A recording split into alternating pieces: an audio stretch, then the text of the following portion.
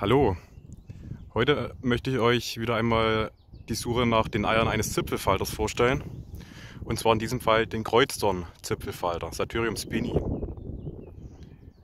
Die Art frisst ein Kreuzdorn, wie der Name schon sagt, und ist in den meisten Gebieten schon vom Aussterben bedroht oder gar nicht zu finden.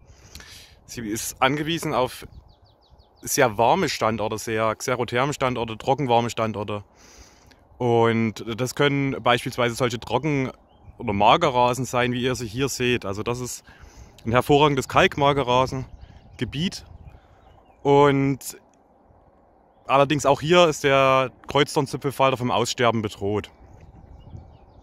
Aber das sind solche Gebiete, wo man ihn sich gut vorstellen kann. Wir sehen Wacholder im Gebiet, ähm, sehr viele und sehr magere, mageren Standort mit lückiger Vegetation und auch nach Süden ausgerichtet. Das heißt, ähm, die Sonne scheint aus der Richtung und es ist extrem heiß hier auf diesen, auf diesen Rasen.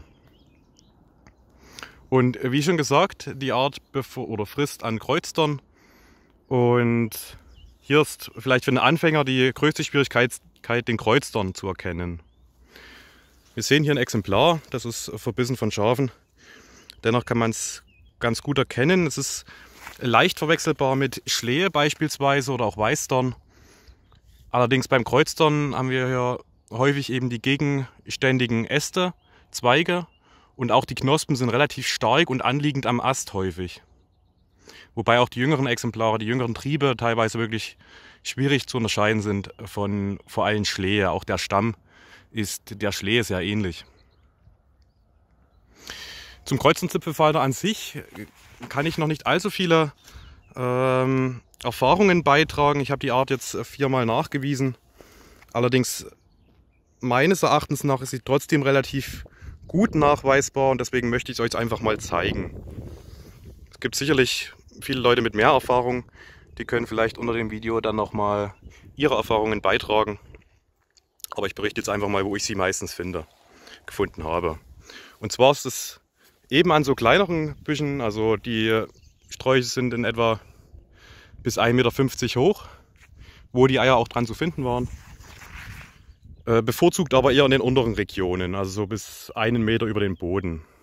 Vermutlich eben auch wegen der Temperatur, weil es da einfach wärmer und trockener ist auf solchen Standorten. Und genau, die Eier. Ich habe hier schon mal gerade welche gefunden. Also wir sehen hier die der Busch ist sehr stark von, von Schafen verbissen worden und äh, ist auch ein Zeichen dafür, dass wir hier auf dem Kalkmagerrasen sind, der auch gepflegt wird noch, was an sich ein gutes Zeichen ist. Und die Eier sind vor allem in Astgabeln zu finden. Häufig eben auch auf der Astunterseite. Und hier sehen wir jetzt zwei Eier direkt in der, in der Gabel drin. Das ist typisch Kreuzdorn-Zipfelfalter, Satyrum spini. Meines Wissens nach legt auch sonst keine Zipfelfalterart an Kreuzdorn ab. Das heißt, die Eier sind relativ eindeutig zu identifizieren. Sind auch so relativ typisch, also wenn man sie mit anderen Zipfelfalter-Eiern vergleicht, die sind relativ flach. Die Oberflächenstruktur ist sehr, sehr fein und sie sind doch relativ markant.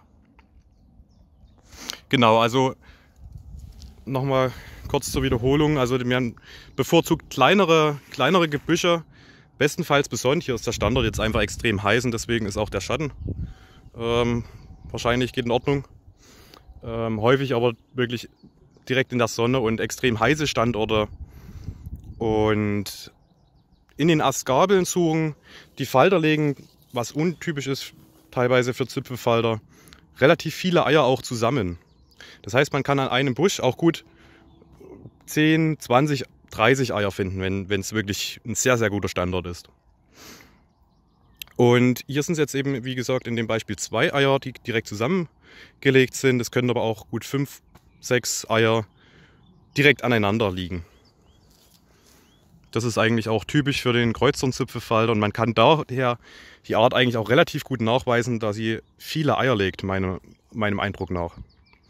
Nicht so wie bei anderen Arten wie dem Pflaumenzipfelfalter beispielsweise, der dann wirklich nur einzelne Eier legt, kann man hier wirklich richtig viele finden. Und nochmal für die Botaniker unter uns, Dass wir uns hier auf dem, Kreu äh, auf dem Kalkmagerrasen befinden, erkennt man an den vielen Orchideen. Also wir sehen jetzt hier zum Beispiel überall das große Zweiblatt, was überall durchkommt. Hier sieht man schon in Blüte teilweise, kommt die Blüte durch. Aber auch sonst sehr viele Orchideen hier auf diesem, auf diesem Rasen zu finden. Wir sehen hier wahrscheinlich Waldhyazinthe, die durchkommt. Hier überall Orchideen. Und aber auch die äh, das Purpurknarbenkraut, was auch hier überall mit in diesem Rasen drin steht. Also wir sehen, es handelt sich um wirklich einen extrem xerothermen, warmen, trockenwarmen Standort auf einem Kalkgrund. Äh, und das ist einfach perfekt auch für den Kreuzdorn-Zipfelfalter. Auch alte Steinbrüche beispielsweise von Kreuzdorn-Zipfelfalter, in denen sich Kreuzdorn befindet, können hier bevorzugt abgesucht werden. Da es eben sich auch hier wieder solche, solche warm, trockenwarmen Habitate sich bieten. Genau, soviel dazu von meiner Seite. Heute mal zum Kreuzdorn Zipfelfalter. Viel Spaß bei der Suche. Und noch ein kleiner Nachtrag. Wir sehen auch hier wieder einen Kreuzdorn. Das ist nur wenige Meter von dem anderen Standort entfernt. Der war hier bei der Zypresse oder bei, der, bei dem Wacholder. Und auch hier wieder, wir sehen relativ ja, bodennah, nicht allzu hoch, dieser kleine Zweig. Und hier drin wieder direkt im, in der Astgabel liegen in dem Fall vier vier Eier. Schwer zu erkennen. Dennoch, wir sehen vier Eier und das ist, das ist eben typisch für den Kreuzdornzipfelfall, dass auch wirklich eine hohe Eizahl zusammenkommt im Endeffekt auf einem kleinen Gebiet.